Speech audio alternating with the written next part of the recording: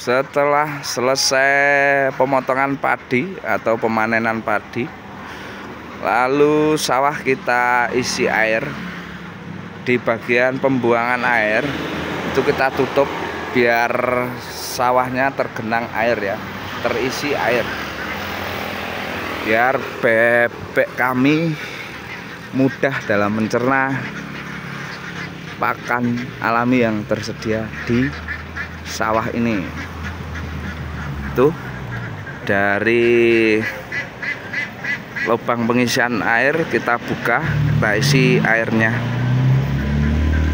Yang potong peladi pun sudah selesai. Ya lalu kita siapkan bebek kita untuk turun. Kita pasang jembatan dan juga geribik cegat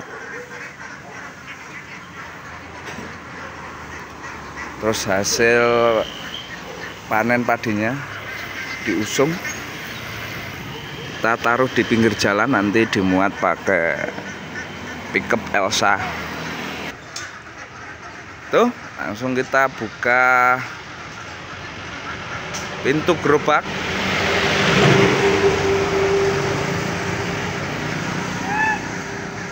Bebek kita turunkan ke sawah ya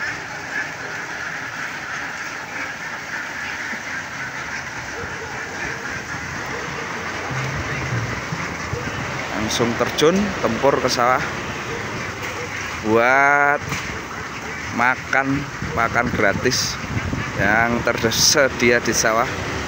Baik bulir gabah yang jatuh saat pemanenan ataupun mikroorganisme yang merugikan tanaman padi akan tetapi dilibas sama bebek ya. Itu sebagai pakan bebek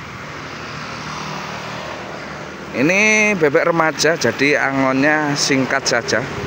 Kenyang langsung kita bawa pulang. Misalnya seperempat jam kenyang langsung kita bawa pulang. Dan sampai di rumah tidak kita kasih pakan lagi. Angonnya sehari sekali.